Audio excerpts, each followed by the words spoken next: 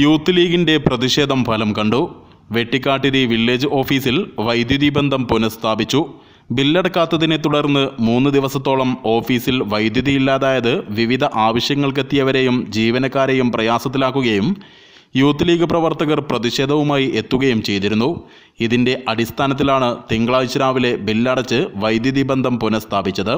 മാസങ്ങളായി village officer തന്റെ ശമ്പളത്തിൽ നിന്ന് പണമെടുത്താണ് വെട്ടിക്കാട്ടിരി വില്ലേജ് ഓഫീസിലെ പണമടച്ചിരുന്നത്. എന്നാൽ ഇത് അവസാനമില്ലാതെ തുടർന്നതോടെ ഓഫീസറും ബില്ലടയ്ക്കുന്ന പ്രവണതയിൽ നിന്നും പിന്മാറി. കെ എസ് ഇ ബി ഉദ്യോഗസ്ഥരെത്തി ഫ്യൂസ് ഊരുകയും ചെയ്തതോടെ ഓഫീസിന്റെ പ്രവർത്തനം താളം തെറ്റി. ഇതേ തുടർന്നാണ് യൂത്ത് ലീഗ് പ്രവർത്തകർ പ്രതിഷേധവുമായി രംഗത്തെത്തിയത്.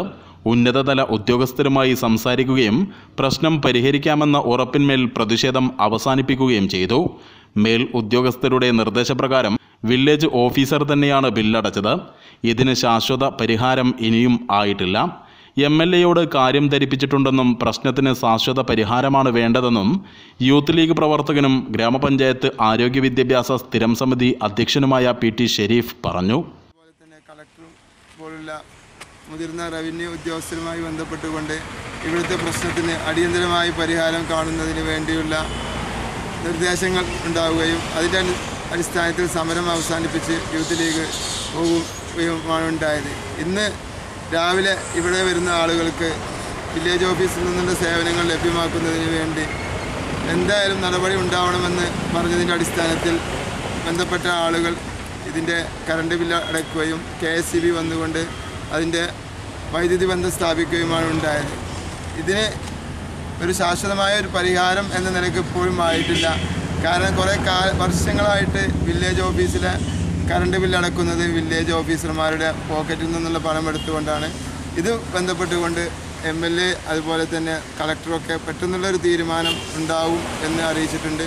അത് ഇല്ലാത്ത പക്ഷം ഈ ഇത്തരത്തിലുള്ളൊരു വൈദ്യുതി ബന്ധം വിക്ഷേപിക്കുന്ന രീതിയിലേക്ക് ഉള്ള ഒരു അവസരം ഉണ്ടാകാൻ പാടില്ല. അതിന് അടിയന്തരമായ പരിഹാരമില്ലെങ്കിൽ യൂത്ത് ലീഗിന്റെ നേതൃത്വത്തിൽ ഇനിയും പ്രക്ഷോഭങ്ങൾ ഉണ്ടാവും എന്ന് മാത്രം പറഞ്ഞുകൊണ്ട് ഞാൻ മറ്റു ജില്ലകളിലേതുപോലെ മലപ്പുറത്തും ഇത്തരം ആവശ്യങ്ങൾക്ക് ഏകീകൃത സംവിധാനം വരുത്തണമെന്നും യൂത്ത് ലീഗ് പ്രവർത്തകർ ആവശ്യപ്പെട്ടു. മുസ്ലിം യൂത്ത് ലീഗിനെ സംബന്ധിച്ചിടത്തോളം ശാശ്വതമായിട്ടുള്ളൊരു പരിഹാരമാണ് വേണ്ടത്. താൽക്കാലികമായിട്ടുള്ളൊരു പരിഹാരമല്ല വേണ്ടത്. ഇപ്പോൾ നിങ്ങൾക്കറിയാം കാസർഗോഡ് ജില്ല. കാസർഗോഡ് ജില്ലയിലൊക്കെ ഈ താലൂക്ക് ഓഫീസിന്റെയും വില്ലേജ് ഓഫീസിന്റെയും ഒക്കെ കറണ്ട് ബില്ല് ഒരു കേന്ദ്രത്തിൽ നിന്നാണ് അടക്കുന്നത്. അതുപോലെ മലപ്പുറം ജില്ലയിലും അതുപോലെ ഒരു ശാശ്വതമായ ഒരു പരിഹാരം വേണമെന്നുള്ളത് തന്നെയാണ് യൂത്ത് ലീഗ് ഇപ്പോഴും ആവശ്യപ്പെടുന്നത്. ഇത് താൽക്കാലികം മാത്രമാണ്. ഈ വിഷയത്തിൽ ഞങ്ങൾ എം എൽ എയുമായി സംസാരിച്ചിട്ടുണ്ടായിരുന്നു. എം എൽ എ ഈ എം നിയമസഭയിൽ ഇതിലൊരു സബ്മിഷൻ കൊണ്ടുവരാം എന്ന് ഞങ്ങൾ കൊണ്ടുവരാൻ കഴിയോ എന്നുള്ളത് ഞങ്ങൾ ആരാഞ്ഞിട്ടുണ്ട്. പരിഗണിക്കാം എന്നുള്ളത് മൂപ്പര് പറഞ്ഞിട്ടുണ്ട്. ടി സി കുഞ്ഞാണിപ്പ മുനീർ കണ്ണഞ്ചത്ത് തുടങ്ങിയവർ സംബന്ധിച്ചു. News bureau Pandikkad.